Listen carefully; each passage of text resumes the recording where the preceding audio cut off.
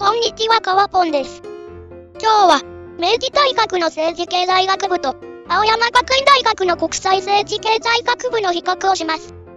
それぞれの大学の、文系のトップ同士の比較と考えていただいてもらっていいと思います。まずは、偏差値の推移になります。青山学院がずっとリードしていますが、2016年には、明治が追い上げて、その差は、僅差となっています。直近の2021年度を見てみましょう。じゃん、こちらです。明治がついに並びました。二つとも75という高偏差値になっています。ちなみに、早稲田の政治経済学部の偏差値は82となっています。次に、学科ごとの偏差値と平均倍率の大まかなポジションを見ておきましょう。先ほどは学部の大法的な偏差値でしたが、今回は個別入試をベースにした学科ごとの偏差値になります。2022年の6月の真剣文字のホームページを参照にしています。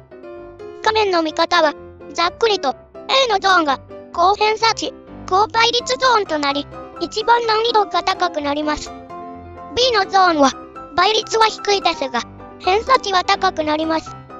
受験者のレベルが絞り込まれていますので、ここも難易度は高いと見ていいでしょう。T のゾーンは、低偏差値、高倍率。G のゾーンが、低偏差値、低倍率で、このゾーンが一番狙い目と言えるでしょう。まずは、明治大学の政治経済学部になります。P のゾーンに集中していますね。明治の高偏差値学部になりますので、無謀な挑戦が少なく、倍率が低いのだと思います。地域行政学科は、やや、偏差値が低めとなります。次に、青山学院大学の国際政治経済学部になります。なお、青山学院大学は、2021年に大きな入試改革を実施しました。それが原因で、2021年度から、志願者と倍率はかなり下落しました。よって、今回は、入試改革後の2021年と2022年の2年間の平均倍率になります。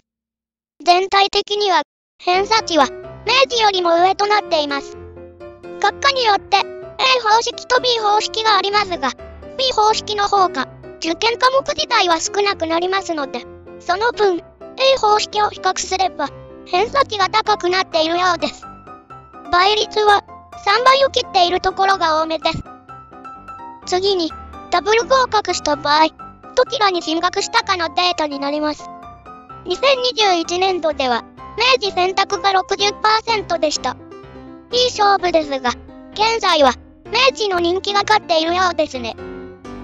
最後に、人気の閉館先ランキングです。少し古い2016年のデータになりますが、参考にしてください。明治の政治経済学部の人気閉館先ランキングは、5位まで、すべて総計になります。